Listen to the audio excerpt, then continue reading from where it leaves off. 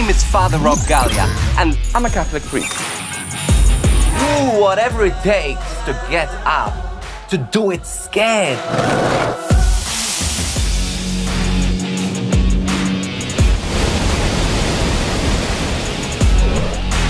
Join me as we delve into the complexities of transgenderism, same sex marriage, a just war, and so many complicated church teachings. Let's explore together through this series, The Church Says, weekly with Father Rob. Hey, Father Rob.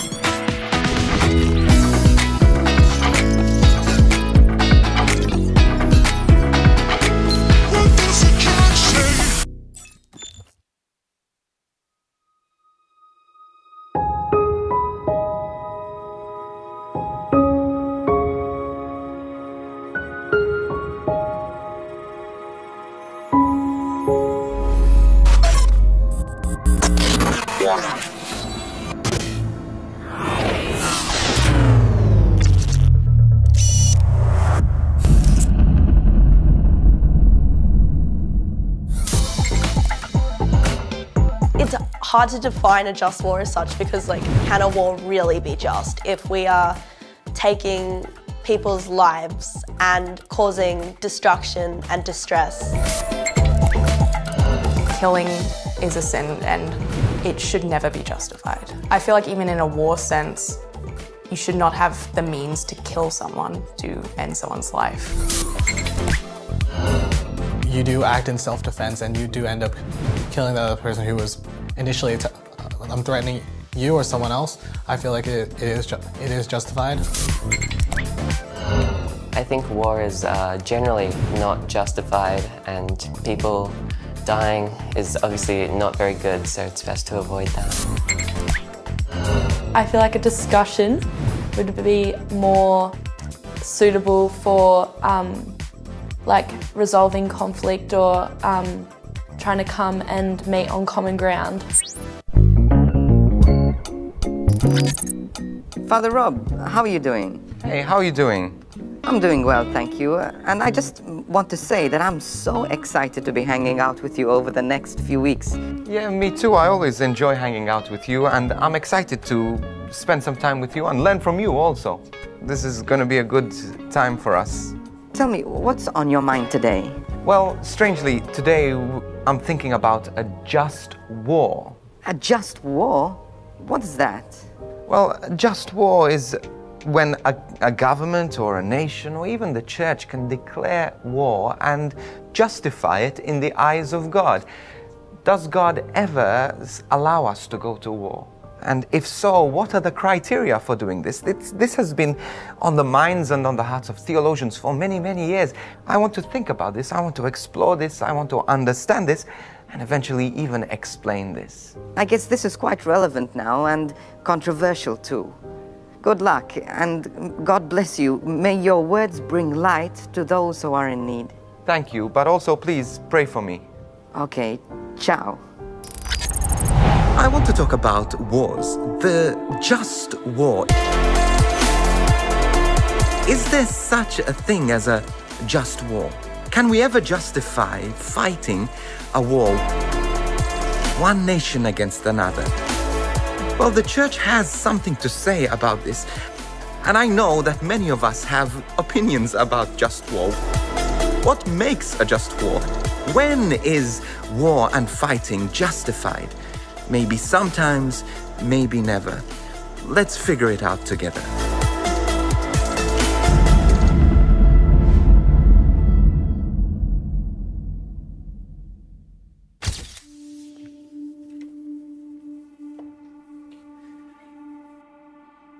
When we think about war, war is not something that God causes. War is something that we choose. And very often comes from our selfish desires, our desire for more land, our desire for more things that God has freely given us to share. I want you to think about this. Does God create war? Does God cause war?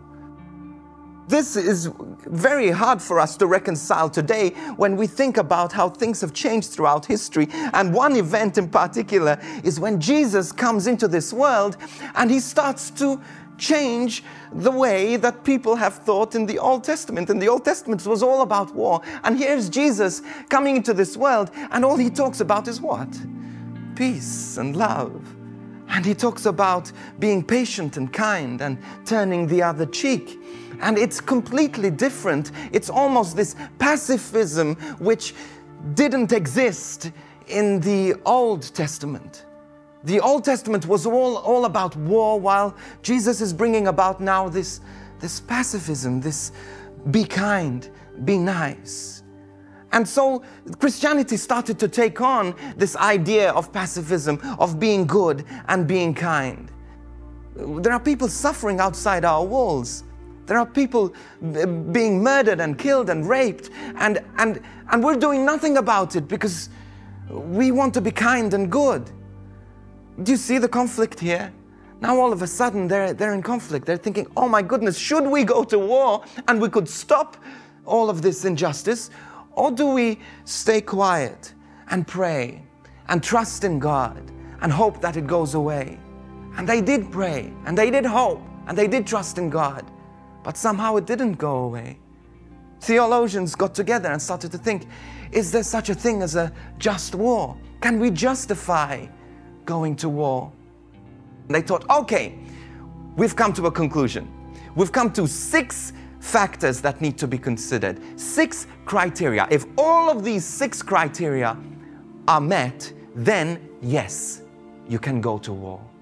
Can I tell you what these six criteria are? So, uh, just quickly. And th- these are things that they're common sense. But sometimes this is what governments need to know. And if, if any government leaders are watching this, please listen to this because this is the teaching of the church. This is the only place. If any of these six points are missing, then you cannot, before the eyes of God, go to war.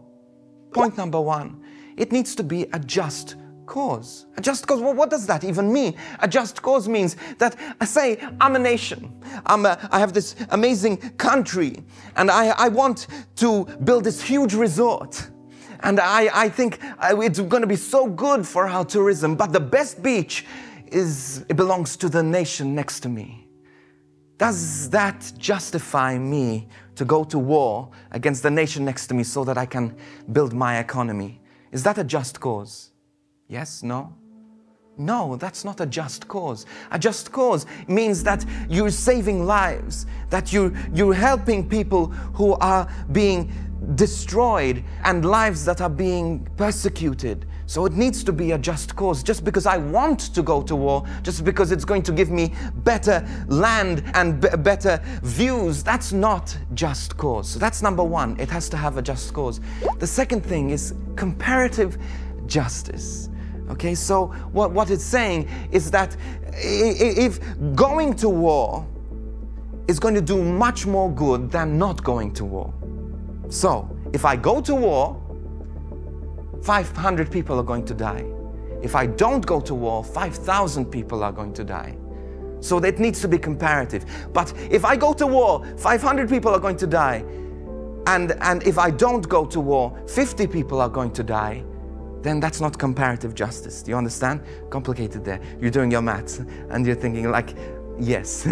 but this is it, okay? So the third one is competent authority. You have to make sure the person making the decisions has a right mind, that they're not crazy, that they don't do things because they want to get political power. People do, and they do go to wars. You know, people go to war because they're crazy. They're just nuts, and they just, in history, look at the, what happened in the past. People who were crazy went to war for crazy uh, ideas. And so it needs to be a competent authority. So we have, as Christians, if the person sending us to war is not competent, then we have a moral duty to stand back and say, No, I'm not going to participate in this. So that's number three. Number four is the right intention. The right intention, again, is very connected to competent authority. Am I doing this because I'm going to win votes? Am I doing this because I'm going to get uh, better, better exposure? Am, am I doing this because all of a sudden it's going to make my country richer? So the intention needs to be right. And what is the main intention at the end of the uh, end of the line is what? to save lives. To save lives. The only right intention at the end of the day is to save lives. Number five is the high probability of success. This is in the Bible. He says if someone is preparing to go to war and they realize that they have 2,000 people and they realize that the people in front of them are 20,000 people, then they should write to negotiate to surrender. If you know you're going to lose and there's no chance of you winning and no reasonable and no probability of success, then no, you shouldn't go to war. And number six, a last resort. A government should never go to war unless they have exhausted every other option. So they try and negotiate, they try make phone calls, they try have meetings, they try have peace talks. Going to war is always the extreme last resort. You see, these six things are the things that all need to be considered and they all need to be ticked. If one is missing, then there should be no war. So at the end of the day, you see, we have to know that even when we do go to war, we are fighting against our brothers and sisters in Christ. We're fighting against those, we're killing those whom Jesus loves no less than He loves me. He loves you as much as He loves them. And so every death that happens during war is grieves the heart of Jesus. So let's just pray. Can we just pray for, for the world? We'll pray that God will inspire leaders, be with leaders, those who especially who have to make these decisions. So, Father God, we thank you so much for your mercy and love. We thank you, Lord, that you give us peace and you call us to be a people of peace. Father, I pray for our world leaders. I pray for our governments. I pray for our people as well that we may stand for peace, that we may stand for love, and always raise people up to their dignity. Thank you, Holy Spirit, that you are a God who is a God of peace, a God of love. Let us never be afraid to choose peace, to choose you at all costs. Glory be to the Father, and to the Son, and to the Holy Spirit, as it was in the beginning, is now, and ever shall be, world without end. Amen.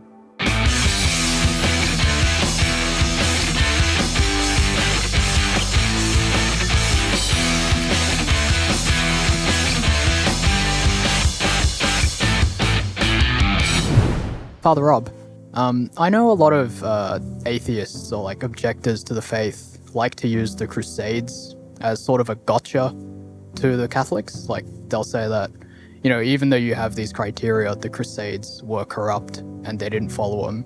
So the church is uh, a bunch of hypocrites. I know initially the Crusades were a response to persecution of uh, Christians in the Holy Land, but later Crusades, uh, they sort of became more corrupt because of human leadership and they've become associated with a lot of atrocities. So um, just wanted to know like how you'd respond to that sort of objection. Well, I would answer exactly how you, in your second part of the question, gave the answer to this, because you're absolutely right. It started off as a just war, jus ad bellum. There were more people being persecuted, more people being killed, so they needed to step in to defend the faith. Okay, it wasn't, it was defending lives, it was defending the faith. It wasn't defending, fighting people and killing people because they were against Christians, but simply because they were killing Christians. So they needed to defend themselves. But as time um, started moving forward, people started getting greedy. The church started getting greedy. The people in leadership started getting greedy. They said, now, okay, once we've justified this war and the church has endorsed this, let's take it even further. Let's go to places where they're not even persecuting Christians and let's kill the non Christians so that the world will become Christian. That is not a justified war. That is not a jus ad bellum. That is a wrong war. That is a sinful war that the church in its heart and in its governance may have endorsed, but it was wrong. It was sinful and it, it was hypocritical, as you said. Initially, it was good. It was a holy, just war, defending lives. All six factors were there, but and then it started to become um, less and less so until it became an unjust war. Father Rob, um, especially now, a lot of young Catholics are joining up in the army, being able to be pushed over into those scenarios of like war and battle, even though the Catholic Church says, Thou shalt not kill. How does the Church kind of focus on that topic when Catholics are joining the army? There are two aspects and two perspectives that we need to look at. One is the one on one. I'm seeing a person in front of me, I have a gun in my hand, and I'm going to kill.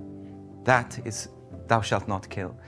But then there's the bigger perspective that the, the, the, way the whole war is being fought. If we're assuming it is a just war, that many people are being killed, there's a lot of genocide going on. If we don't stop this, then it's an unjust cause. So we need to step in.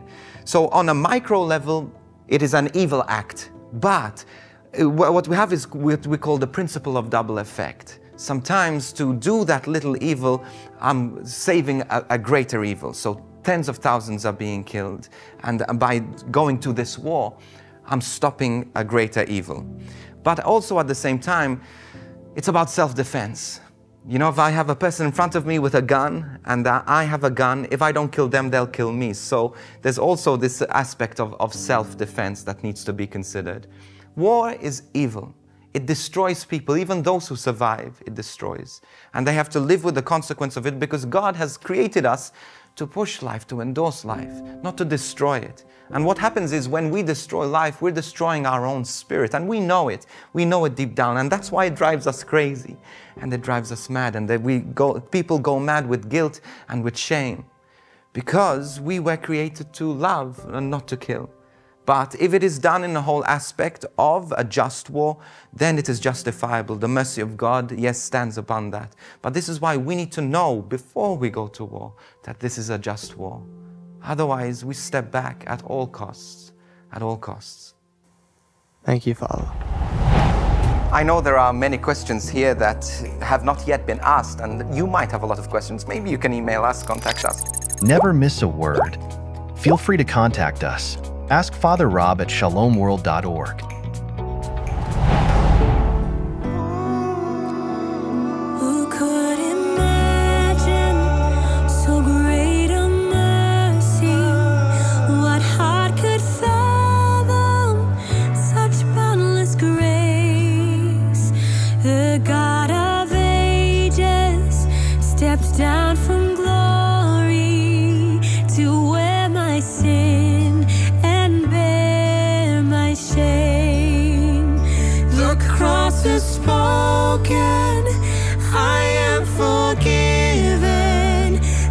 king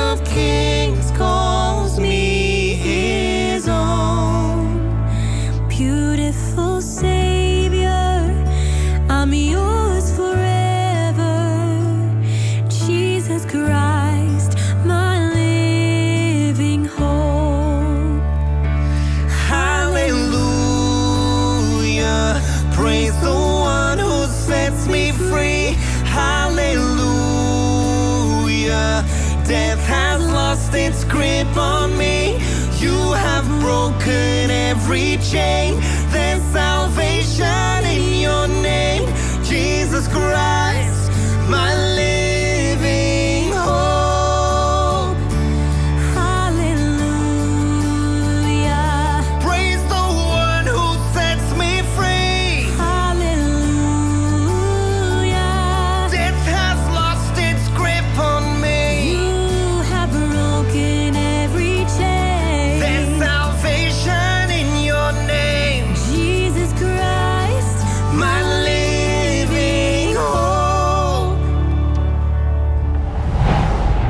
For joining us for this series. We are so grateful that you have taken the time and the effort to learn what the church says. Whatever it is, bring it to the Lord, ask the Lord to speak, and let Him work in your life. God bless you, and thank you for tuning in.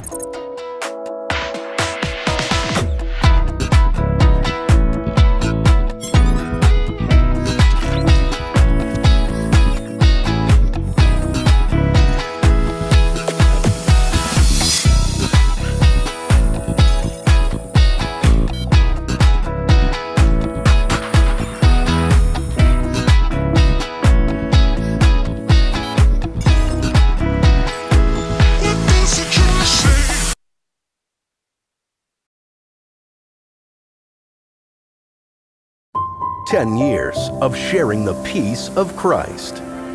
Shalom World God's own channel.